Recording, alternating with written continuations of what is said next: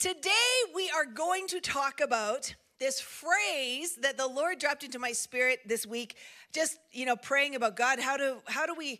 How do we get the ball rolling into fall? And I woke up one morning with this phrase, the God gene. And I'm like, I don't even know what that is. Turns out it's a whole thing. Some of you probably have stumbled upon this over the years. It's a book um, that was first released in 2004 called The God Gene. And we'll talk about some of the contents in there along the way.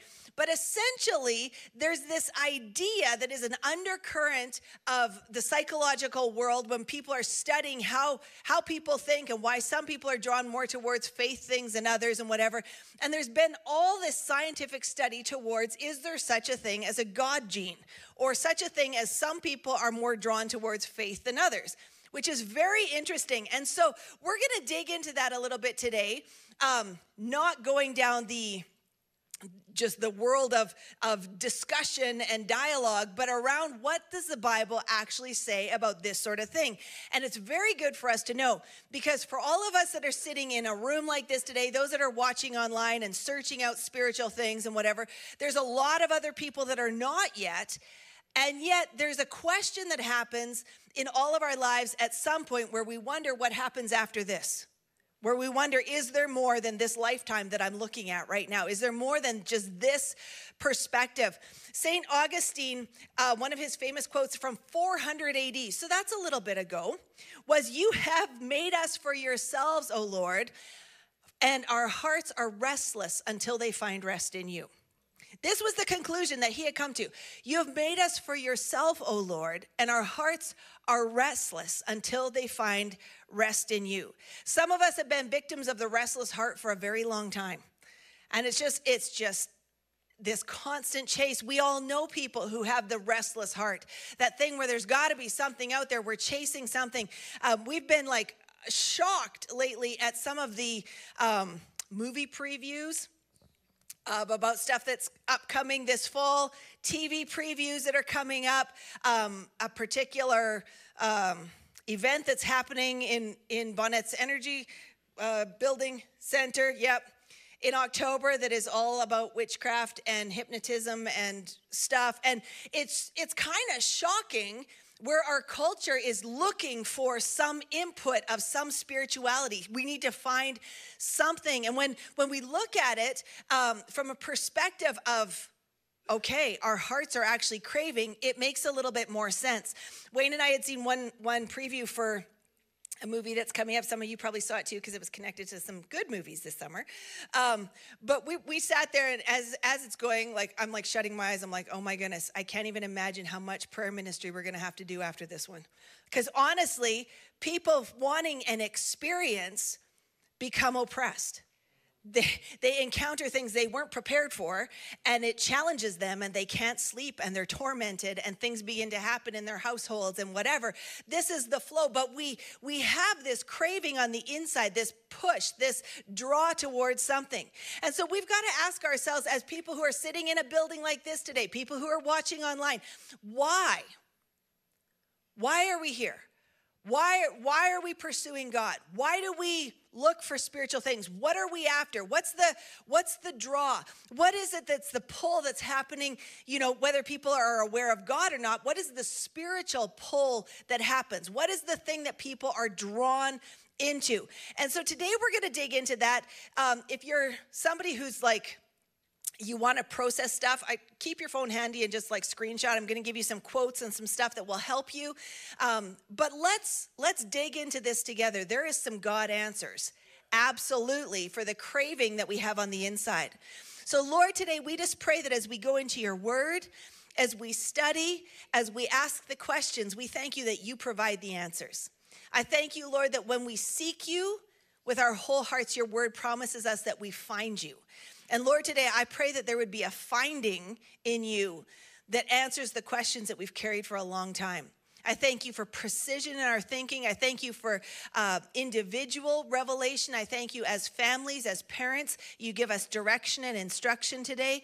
And Lord, I thank you that you lead us into that pla- place where our hearts have found their home in you, where we find our rest in you. And we just thank you for that direction and counsel today in Jesus' name. Amen. So, when we look at the church thing, and I could go on for weeks about the value of being part of a church community, there's no question about it. There's no, uh, there's no lack of reasons why this is a good thing. I was talking to somebody the other day who was just saying that they had spent a season, you know, out of church, started kind of with COVID, and they just sort of stayed out and whatever, and then had come back into a church gathering in the last few weeks, and they're like, honestly, it's hard to put words on, but it's it's so much different than just watching online. Everything has changed because I'm in this in this community. There's something about being together. So we could talk at length about what that is. There is there is a place of belonging. There's a place of stirring one another up, encouraging one another, praying for one another, supporting one another, instruction that happens. We learn and we grow. Iron sharpens iron. There's a place where your gifts make sense. There's a place where you're part of a, of a bigger purpose. There's a place where you feel seen and known. There's a place where what you carry on the inside has somewhere to go. There's a place of purpose. And yet, all of that if we don't come to the anchor underneath it all, is just a social group. That sounds terrible. I do want you all to come back next week. But underneath it all, if we're part of a church and we grow in community and we feel valued and we feel like we matter and we feel like we have somewhere to serve and we feel like people see us, but we never actually meet Jesus, we've missed the point and we could probably join several other community groups that would have a similar outcome on those fronts. The, the idea of the body of Christ, the church, is that it augments or it helps us in our walk with Jesus in our relationship with Jesus, in our encounter with Jesus. We are here to support one another, to grow and to learn, to be instructed, to, to serve, to use our gifts, to develop because of the relationship with Jesus. And this is the core thing that actually we are craving on the inside, whether we realize it or not. Ecclesiastes 3:1 says, He has made everything beautiful in its time. Also, He has put eternity in their hearts, except that no one can find out the works God does from the, uh, from the beginning to the end.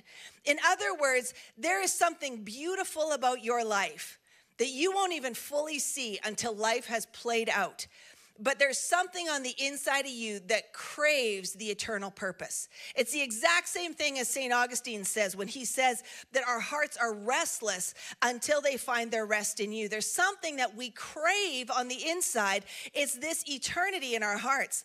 In the New Living Translation, I love how it's broken down there. And it says, For everything there is a season. Uh, yep, nope. Yet God has made everything beautiful for its own time.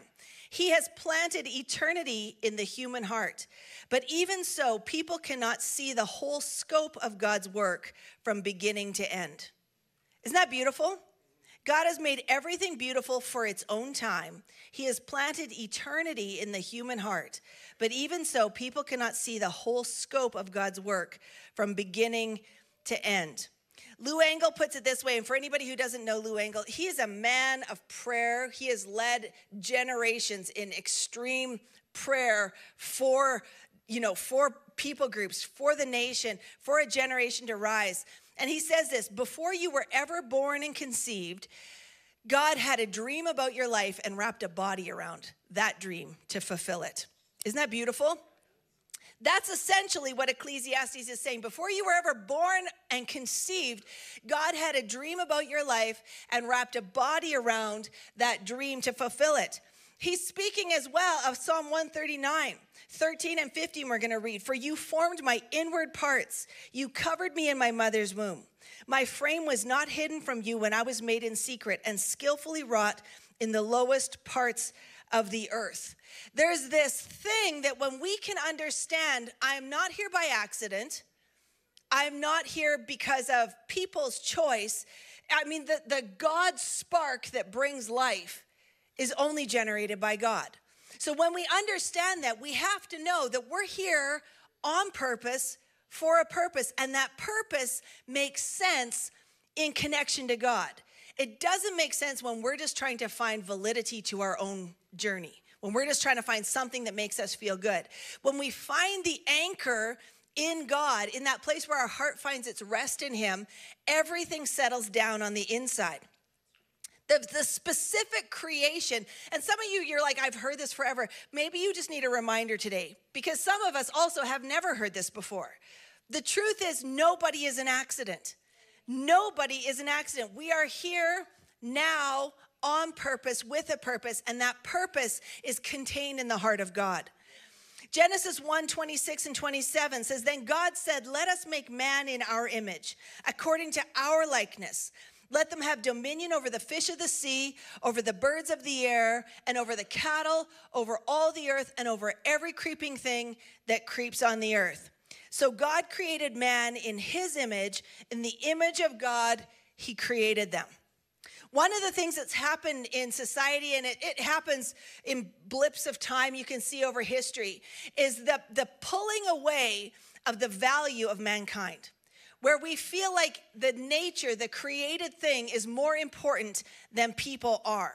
And so, you know, you've, you've seen um, all the different things where there's fundraisers for like abandoned animals or, um, you know, things like that where there's, there's, um, you know, puppy mills or whatever, really horrible things for sure.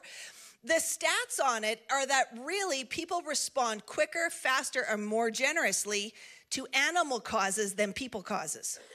Something's wrong in our thinking when when we don't really understand that when we have a society that takes things like the sound of freedom movie and blocks it for 5 years so nobody knows what's really happening to children around the world. When there's this push to silence what is happening uh, to mankind under the hands of tyranny and on the ha- under the hands of abuse. There's this blockage that happens, but we are all about rescuing animals and trees and whatever. And I'm totally an animal lover. Like I cry over all of those little videos too, and I've given. But honestly, this is the core thing: is that man are made in God's image. People are not or uh, animals are not trees are not the earth is not the earth is made out of god's creative side his creative expression. The, the trees the animals the diversity of the earth is made out of his creative expression but we are made in his image. That's massive that is why we can say, I am fearfully and wonderfully made. I, I can look like King David said, look in the mirror and be like, I am fearfully and wonderfully made. That my soul knows very well. Why? Because I'm so great? No, because I'm made in his image. The, the, the way I function, the way I am designed, is to function in a way that reflects who God is. That's incredible. That, that the idea that God would actually put his fingerprint on our lives is this incredible truth. And when we're willing to receive it, when we're willing to accept it, it makes so many other things make sense. There's a, a philosopher from the late 19th century. He said, Instinct leads, logic does but follow. Instinct leads, but logic does but follow. So, uh, the idea of instinct is the actual definition of instinct a natural or inherent aptitude, impulse, or capacity, behavior that is mediated by reactions below the conscious level. So, instinct or a natural or inherent aptitude, impulse, or capacity below the conscious level, it leads and logic follows. So when people wonder why, why do people keep drifting into spirituality? Why do people keep like literally pretty much almost every time we post a video online somewhere, somebody's like, "So I don't understand why you're after this imaginary god of yours." Cuz he's not imaginary. He's very very real and there's something on the inside of us that knows it. Why do people keep pursuing things of faith, keep pursuing things of the spiritual realm, keep pursuing things of the invisible? It's because the instinct is there. There's something on the inside of us that absolutely cries out for more, that knows there's got to be something more. I there, there is a draw when you come to a near end of life situation that automatically knows there's got to be something more. There's got to be something that happens on the other side of this. And it, it stirs up on the inside. People have these encounters when they are in nature, when they see the beauty and the creativity, when they see animals follow the paths that they shouldn't naturally follow. Like, why? Why do salmon swim upstream to give birth? Who told them to do that? Why do they do that? You can't explain the instinct unless it's put in there by something that's bigger than them, right? It doesn't make sense. We've all seen, unfortunately, the geese are starting to gather again already. I know. Why are they doing that? They're preparing for this flight south. Maybe some of us are as well. They're preparing. Who told them to do that? Who tells them it's time to get together, the fam? You know, you're gonna, the more of you that are in the V, the easier that flight's gonna be. Less, less time you're gonna have to spend on the front of that thing. It's time to get together and you're headed to Florida. You know, who tells them that? There's an instinct that is in there that has to come from somebody bigger than them. What makes us choose love? What makes us choose mercy? What makes us feel? What makes our hearts beat for the things that are, are brokenness? Why can't we just walk by and do nothing? Now, sometimes along the journey, our instincts get broken by the damage that happens. But the core instinct is there. I think there's this, this interesting thing. I, I mean, everybody has had some kind of a near death experience driving in Grande Prairie. Um, and we all shout something. I, I have noticed, and I'm, I'm pleased with, with in my own life, probably it hasn't always been the case, but somebody cuts me off, and I'm just immediately like, Jesus, help. An ambulance goes by. I'm like, God be with them. Like it's just it's just this instinctive thing. And I'm starting to notice how more and more it's just this this place in my life where I know that if there's going to be something go wrong, I can't solve it. Cussing at people is not going to help. Waving a certain finger is not going to solve any solutions or create any solution. There's nothing that's going to help except Jesus. I, I was uh, driving the other week and it was just like literally the traffic was so it was so full in GP and people were like, you know where you should have predictive driving, where you slow down a little bit before an intersection. People were like, drive, stop, drive, stop. And I'm like looking in my rearview mirror and the, the like the cars are just like so close to crashing. And I'm just like, Lord, I'm just gonna need a bubble. Like I just I just need a spiritual and I mean to some that might seem weird but I'm like literally I can't be defensive driver enough to get through this right now. These people are crazy. And I'm I'm sure it wasn't my driving, it was everybody else's, but it was like I I need to get home today in one piece. Like, Lord, I need your help. I've been to doctor's appointments where they'll like, you know, well, I think we really need to check into this. There's something seems a little off. My instinct is God, I need your intervention. God, help me. Where is your place that you go? Who is the person that you call out to? What's the answer? What's the what's the thing that comes out of your heart? Because it's meant to be the one who's the source of it all. It's meant to be the cry to the place where your heart finds peace. But we try all sorts of things. In our uh, in our hospital at present, we don't really have a chapel at the moment. We just have a reflection center. Let me tell you, reflecting isn't going to help you. Sitting and thinking isn't going to help you. You need prayer. You need to take it. We need to take it to somebody who is higher than we are, somebody who is bigger than we are, somebody who actually has the answers. The Angus Reid Institute did this study, and it says prayer habits tend to be the strongest in this country, specifically about Canada, during childhood. In fact, nearly six in 10 Canadians say that they prayed once a week or more during this period of their life, significantly more than those who say they prayed often in adolescence or as an adult. In fact, adults in Canada, uh, of adults in Canada, just one third say they pray at least once a week. Interestingly, childhood prayer habits are strongly correlated with both the likelihood and frequency of prayer as an adult. Prayer habits tend to be the strongest in this country during childhood. What does that tell us? It tells us that when we are closest in the timeline to the one who created us, to the one who knit us together in our mother's womb, to the one who says we are fearfully and wonderfully made, to the one who has us in his heart. When we are closest to that point in the timeline, he's who we cry out to. And the further we get down the path, the more we rationalize out if it makes sense or not. Is he actually there? Is he actually interesting? The more hurts we experience, the more damage of a broken world, the more places we bump into people who have who have maybe been hurt or created hurt in a faith environment and we decide to shut down. There's nobody answering on the other end of that prayer. You might as well save your breath. But when we're little, there's something in us that draws us towards the divine. There's something that draws us towards the answer. Why? Because eternity is hidden in our hearts. Because there literally is a space that we are called to live with Him.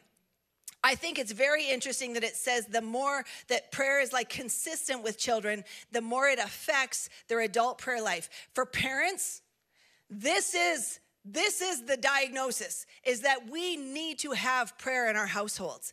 We need to be teaching our children not just that it's important to come to church, not just that you have to be a youth group. We need to teach them to pray.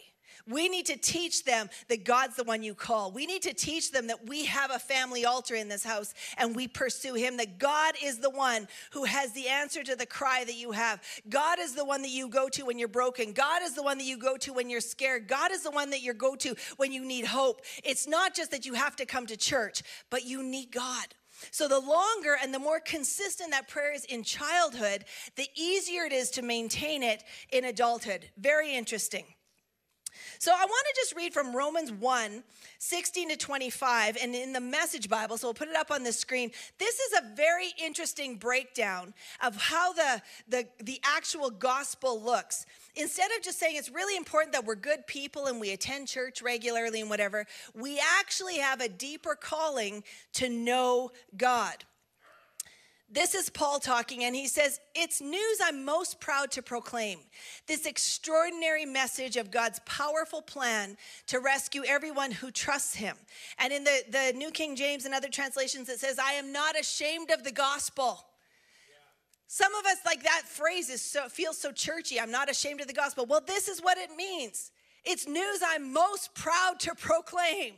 Honestly, there's nothing embarrassing about faith or Christianity. It's something that we should be proud to proclaim. God's powerful plan to rescue everyone who trusts him, starting with Jews and then right on to everyone else.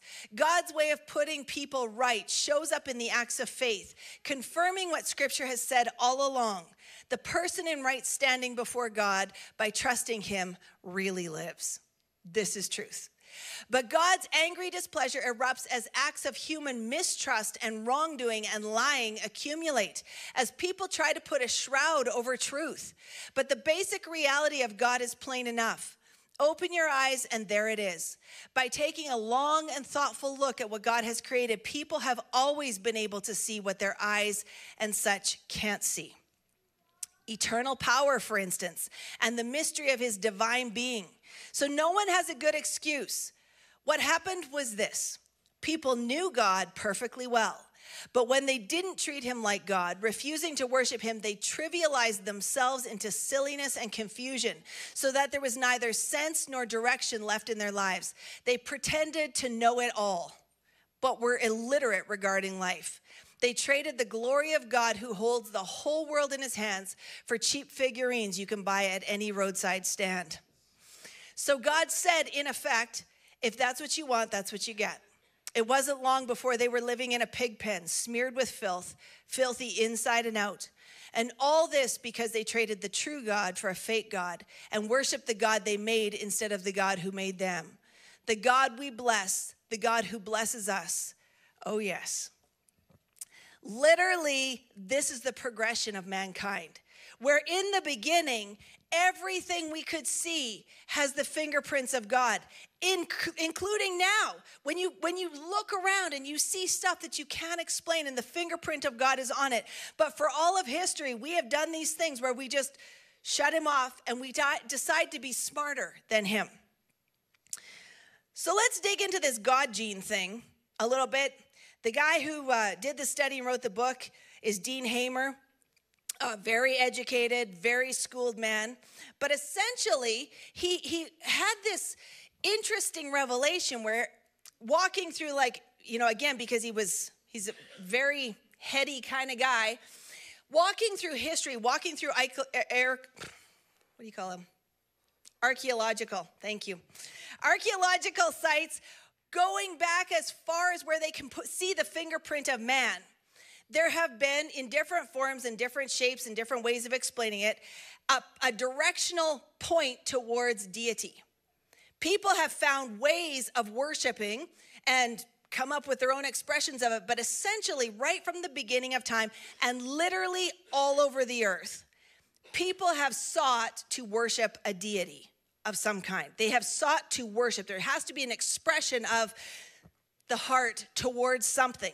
So sometimes it's multi gods, sometimes it's towards creation, sometimes it's towards God Himself. But the expression is there. There's this thing in man that has always known there's something more, and it tracks through all of history.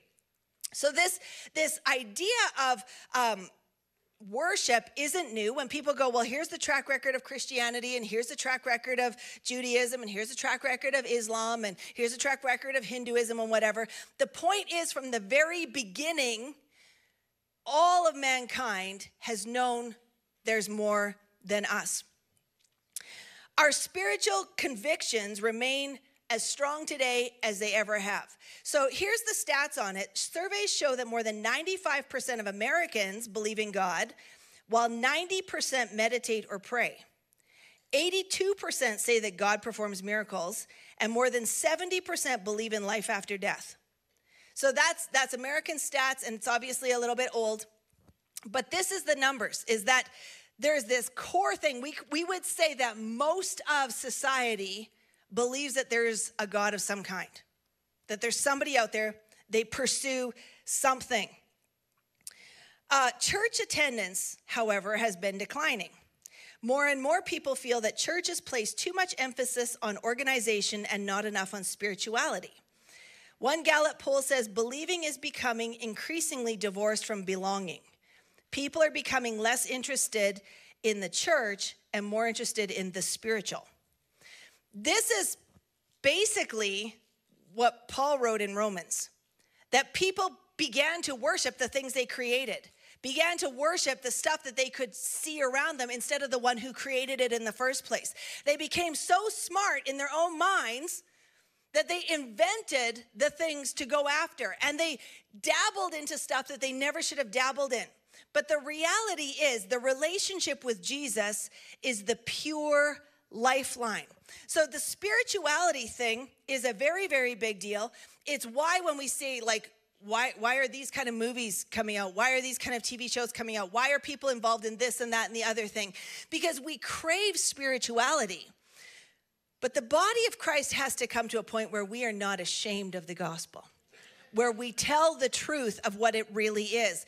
Because essentially, this guy is like coming from an outside situation. He's wondering why do people, why are people so drawn to faith? Why do they need it? Is it a crutch? Is it an internal, like they just have to have something to lean on? Why do they do this? He literally asks, why is spirituality such a powerful and universal force? Why do so many people believe in things they cannot see, smell, taste, or touch? I argue that the answer is, at least in, in part, hardwired into our genes. Spirituality is one of basic human inheritance. It is, in fact, an instinct. That's what his studies show. Then he tries to figure out how this happens. What's interesting when he says, Why do people believe in things they cannot see, smell, taste, hear, or touch? The answer from the Christian perspective is that's not true. Psalm 34 8 says, Oh, taste and see that the Lord is good. Blessed is the man who sees or who trusts in him. The reality is when you come into relationship with Jesus, and some of us have been there, some of us are in process, some of us need to to have this experience, but when you know Jesus, you do feel him. You do hear him. You do sense him. You do see him at work all around you. You do hear his voice in the things that you're you're seeing and doing. And when you ask him, prayer is an interactive language. It's not this imaginary thing where we come and we just give ourselves to something that is dead or demonic. It is something that is life-giving. And so any solid believer would tell you that this is not just faith for faith's sake. It's not just needing something to hang on to. It is the source of life and it brings peace and he brings joy and he brings he brings hope and he brings perspective. He brings clarity. He gives the ability to love when love isn't possible. He gives the ability to forgive when forgiveness is unthinkable. He gives the ability to move on and walk in strength when you should have quit days ago. He is next level encounter with the divine god himself. It's not the same thing as just having some urge on the inside to believe in something bigger than me it's an actual relationship. So, as he's studying out this thing, this guy in the God gene, he talks about um, he sees it the same as birds. And why do some birds sing a certain song that's different than other birds? They all technically have the same vocal cords, they should be able to make the same sounds, but why do they make their own song? What makes them respond in certain ways. And so he kind of connects the two and he says part of it is obviously just instinctive, but part of it is nurture. Part of it is that they heard their parents sing it. Part of it is that they're in an environment that hears this particular sound, and so they emulate it. They take the basic ingredients and they look to repeat what they've just heard in their in their family line which is so interesting because when the Word of God tells us to, about children, He tells us to raise up a child in the way they should go. And when they're old, they will not depart from it, right? It's the same thing as when prayer is solid as in childhood, it becomes a solid practice in adulthood. This process, it's something that, yes, there is some nature connected to it, and there is some nurture connected to it. And all of that is of God. God speaks into all of it, which is so interesting. This is why when we're in this moment of time where we, we are deciding what to do with our kids, our families, our resources, so much is going on around us. Um, I thought it was interesting when Jordan spoke and he said, I forgot how busy it is up here. I forgot how, like when they moved back up here, I forgot how busy it is. We have this thing where honestly, uh, Labor Day weekend tomorrow, most of us are trying to just breathe deeply because it's all on on Tuesday. Everything starts on Tuesday. The world just goes. And up here, it's a big thing. And we have this culture that wants us to put our kids in everything. We need to be part of everything. We need to be busy, busy, busy. Your kids need all the opportunities. Maybe they're going to be a famous this or going to be a famous that or whatever. I actually looked up the stats just so you know. The odds of your child playing pro football are 0.08%. The odds of your child playing pro basketball are 0.02%, so better ish, kind of, well, nah. The odds of dying and facing an eternal future, 100%. So, where do we invest? What do we make sure our kids know? Where do we make sure that they are?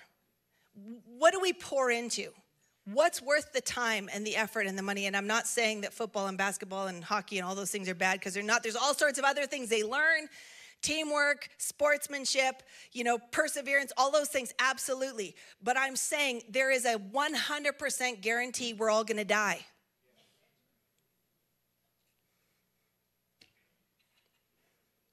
So, what are we investing in?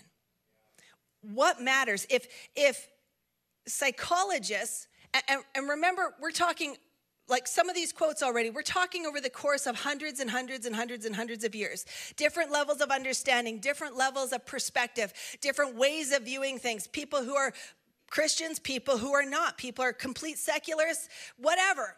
But they all come down to this same thing that there's this core that seems to be on the inside of mankind that craves the divine if your kid has that, you have to point it at something. You have to give it direction. You have to help it find a landing pad. We've got a, a current place in our society right now where it's like we don't want to we don't want to force our kids to do anything because we don't want them to hate it. So we don't want them to force them to eat the things they don't want to eat. We don't want to force them to wear the things they don't want to wear. We don't want to force them to go to the places that they don't want to go. We don't want to force them to talk to people that they don't want to talk to. All of these things. We don't want to make them, we don't want to make a choice of faith for them. If biblically, spiritually, psychologically, scientifically, the background is your kids are going to search for something outside of themselves. Guaranteed, you better give them something to chew on. You've got to put some tools in their hands. You've got to t- decide that this is worth it. You've got to help them navigate these crazy waters that are in front of them. I'm not talking about proselytizing your kids, I'm talking about passing on an inheritance. I'm talking about if we can break through in one generation into freedom and love and joy and peace and kindness and fruitfulness in our homes, the next generation walks in the blessing of that. What a gift. That's not bondage, that is a gift, right? That is a gift. This is what God's calling us to. We have to understand that it's in there, though.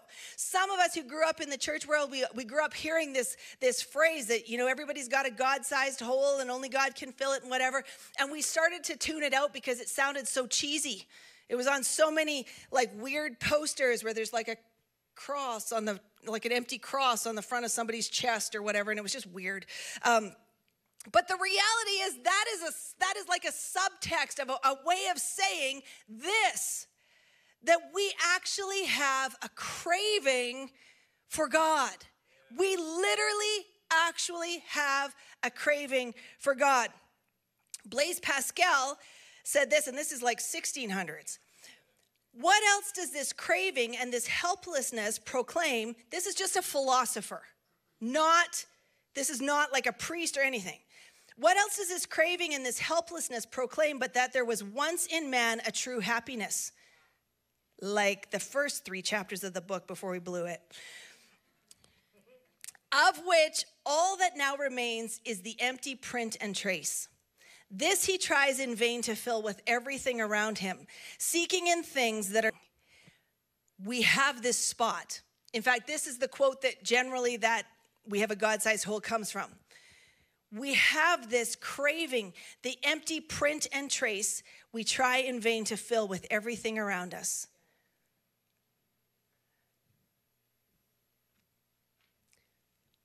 Many of us have been there. We have filled it with pursuit of productivity, financial gain, self help. We've pursued drugs, we've pursued sex, we've pursued alcohol. We've pursued unhealthy relationships. We've pursued all kinds of spiritual dimensions and higher levels of learning. We've pursued all the things. At the end of the day, we come to the spot where actually there is no answer, but the fact that God fills this space. God and God alone fills this space. This is something that eventually we all have to come to this revelation. Some of us come to this revelation on this side of eternity, and unfortunately, some come to it on the other side. But we all will come to this revelation. It's just part of the flow. Because nurture shapes and expresses nature. Parents who help their children experience God, who help them find Jesus, create a paved path that makes it easier and easier for the following generations. When we experience Jesus, when we live in the light, we are transformed by that love and it changes things. We have to we have to decide to live in that ourselves. Some of us and I'm just going to be like don't be offended. This is this is helpful. Some of us want our spouses, our kids, our extended family, our neighbors, our friends to change, to do the right thing, to make better choices. But we're not living fully in the light. We haven't embraced Jesus as the center of everything in our lives. We add him on. We show up on Sundays. Maybe we're really regular in the functions of the church, but unless the relationship with God is active, we're not bearing the kind of fruit that they want to emulate. So when we want to see the change around us, literally the old phrase, to see the change, be the change. Live in that place where you have surrendered to God and let God handle some of the stuff around you that you've been carrying and walking around with as baggage.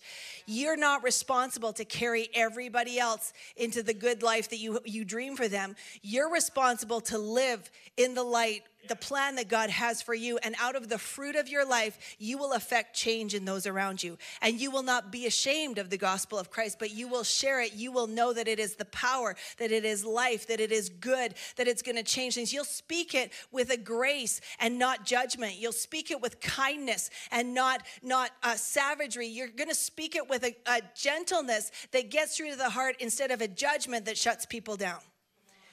We have to decide to live in the light in this place. When we experience God through the lens of religion, the lens of just packaging and not relationship, it's judgmental, it's harsh, it's cruel, and it's dangerous, and it turns people away. There's this uh, quote that uh, C.S. Lewis said that I think is so interesting. He says, Of all bad men, religious bad men are the worst. Y'all feeling that one right there. Of all bad men, religious bad men are the worst. Honestly. So, what we're talking about today is not like a man, I found religion, I found a church. No, you need to find Jesus. And Jesus will transform the things in your life that need transforming. Do you know, I, I used to have a terrible anger problem.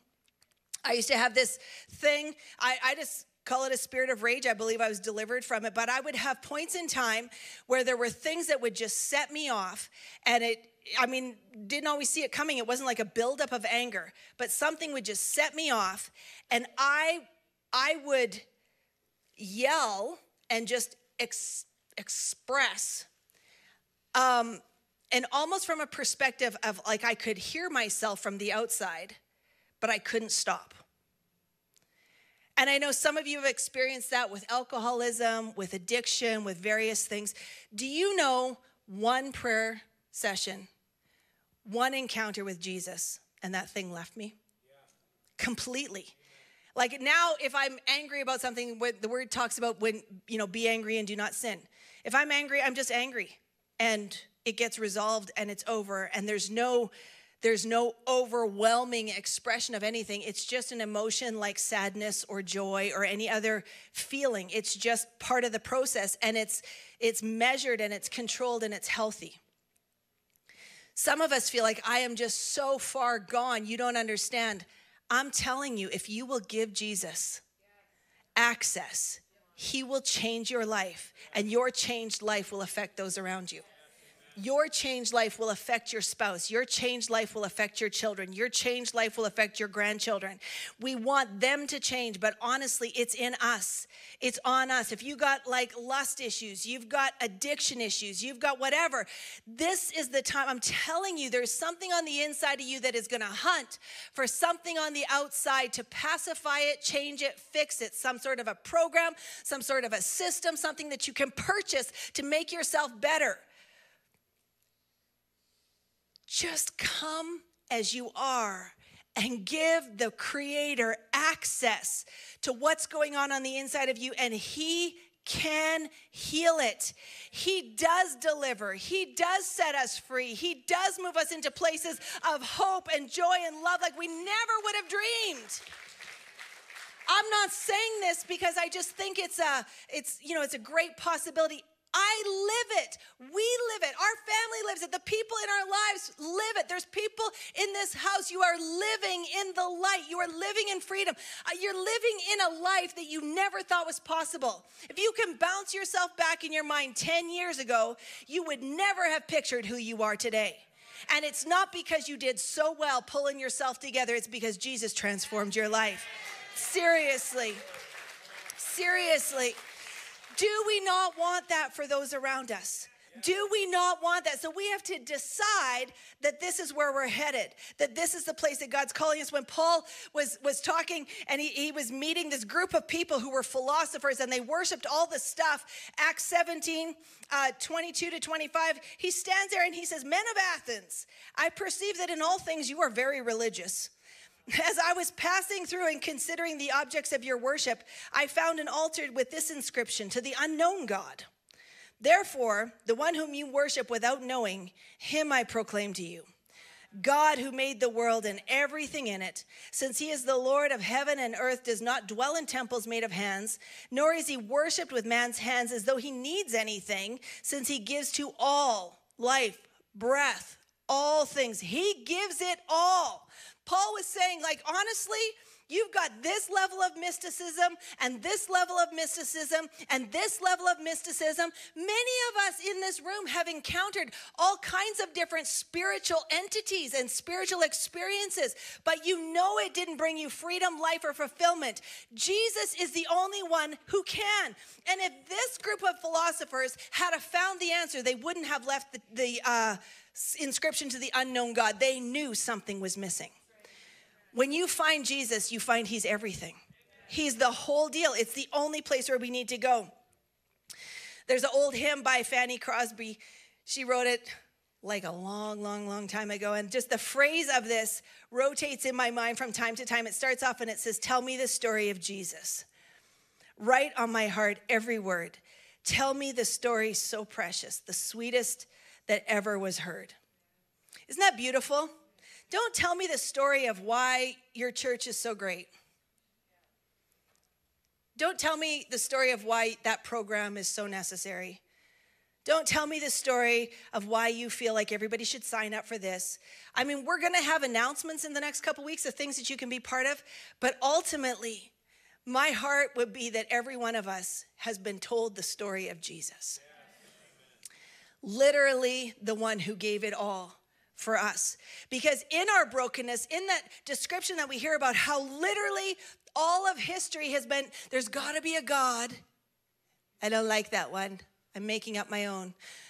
And has created these things, these bondages, these things that have drawn them away from the heart of God. God stepped in and said, okay, I'm going to make a way then. Jesus paid the price. Jesus came and paid it all. And for some who might be new to this message, it is the story of the cross. So you see crosses everywhere, and maybe you don't know what it means. It means that literally God came in the form of man and gave his life for all of us. All the wrongs, all the sins, all the places where we had fallen short of what we should be and what we should do and who we should who we should be in relationship with God. Jesus paid the price for that so that on this side of it all we have to do is say yes. All we have to do is say, I receive that gift and I choose the life that you have for me. And I give up the life of my own, my own choosing, my own ways. I'm I'm accepting this free gift. This is like this incredible thing. There's um there's a track record that again studies over hundreds and hundreds of years have watched when communism rises, Marxism, Nazism, all the isms when Christianity is shut down, persecuted, people are tortured, killed, messed up, it actually excels in the underground. Why would that be? Why would it be that people aren't willing to walk away from Christianity when their life is on the line? When their children's life is on the line, when their businesses are being stolen, when their houses are being burnt. Currently, we just received a prayer request from our churches in Pakistan. Hundreds of them have had their houses burned, um, churches torched, like lives are on the line. They're not asking to get out of it, they're not walking away from Jesus. They're just asking for prayer, to stand, courage, grace, and that the gospel would spread. Why? Why would you stand when that's what's going on? Because it's real. Because it's real. Because literally, you have been so impacted by the power and presence of God in your life that no threat is going to cause you to walk away. That's a really big deal, right? That's a really big deal. Life threatened, but Jesus is everything. This is what God calls us to. A lot of people have just pursued the idea of, like, okay, well, if there is a God, then, I mean, find the God of your choosing. I want to leave us with this today, and I'm going to have the worship team come. But John 14, 6, straight up, Jesus said this I am the way, the truth, and the life. No one comes to the Father except through me. And as harsh as that sounds to some, when we listen with our heart instead of our ears, because eternity is in our hearts, because we have an instinct towards God, because there seems to be some measure of craving that pursues something that we're missing. When we listen with our heart, we recognize the truth when we hear it. We're shifting into a, a new program. We'll talk about it um, in the next couple weeks. But basically, you're going to be hearing some of the stories of people in this house who have had encounters with God, and it's going to blow your mind. Sometimes I can't even sleep at night because of I just heard somebody else's story and what God has done in them and through them and for them, and I'm just like, I'm so blown away by how good He is. Miracles still happen all the time. God still is at work all the time. Literally, He is alive, active, speaking to us. There is no God of the past, there is no imaginary mystical being. There is a real God who, in real time, puts a draw in our hearts. And when we listen to stuff like this, we are obligated to respond. So there's there's kind of two groups of us today. Some straight up need to respond to him. You're like, "Yeah, that is the thing I've been missing." And I need to make that decision. I need to I need to step into this and we'll see. We'll see what comes. It's just a first step. Saying yes to Jesus is just a first step and then the journey is so exciting. So exciting. But then there's a whole nother group of us and I'm just I'm this is not a this is not a spanking. This is an invitation, but honestly, we need to be serious about this. We need to be serious about this. Our children and our children's children's future depends on it. How important is God in our lives? How important is prayer in our homes? How important is instruction in the word in our families? How committed are we to the purposes of God for us? How big is our yes to Him? Are we just worried about what happens when we die, or are we ready to live for Him? Are we ready to say, I'm actually not ashamed of the gospel? Because it's good. The good news actually changes lives. Just before we close today, I'm just going to ask you if everyone would close your eyes. Just get into that space. I want you to just quiet your hearts before God today. We just want to be still with Him. I love it when science and knowledge and thought backs up what the word already says, because it happens all the time. But more than what people think, it matters what God thinks.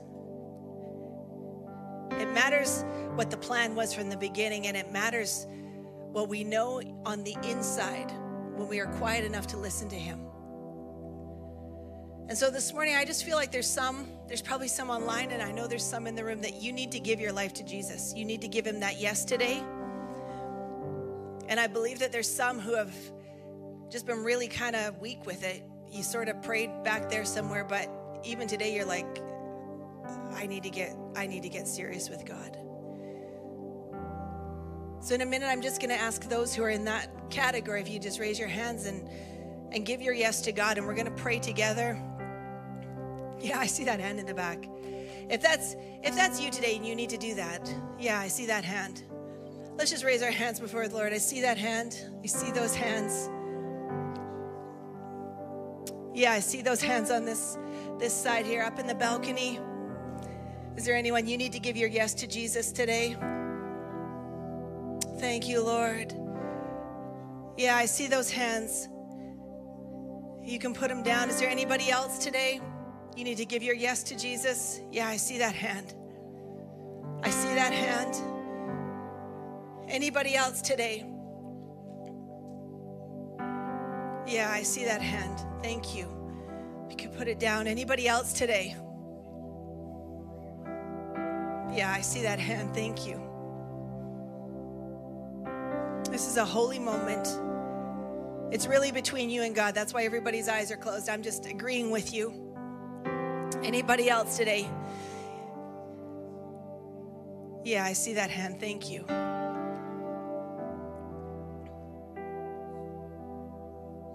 Anybody else?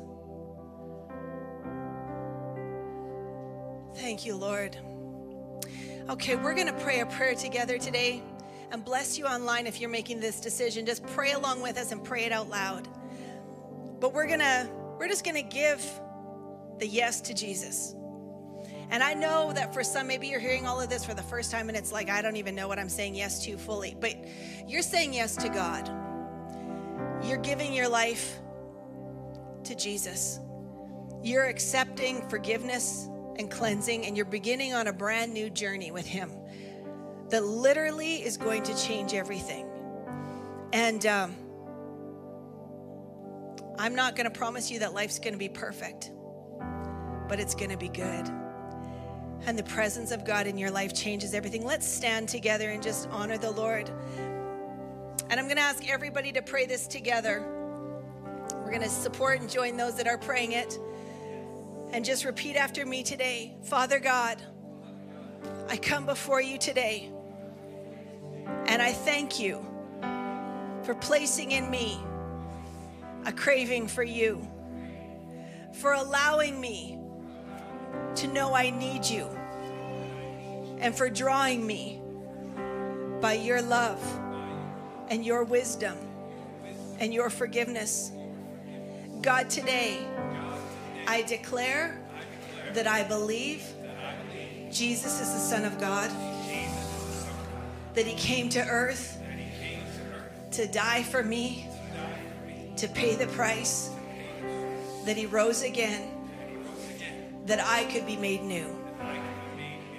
God, today I'm asking for your forgiveness, for your cleansing, and I'm giving you my yes. I'm giving you my heart. I'm laying down my life, and I'm picking up the life that you've given me. I thank you for a new beginning, a fresh start and a, a life on the inside like I've never known before. And I thank you for it. In Jesus' name. Amen. Amen.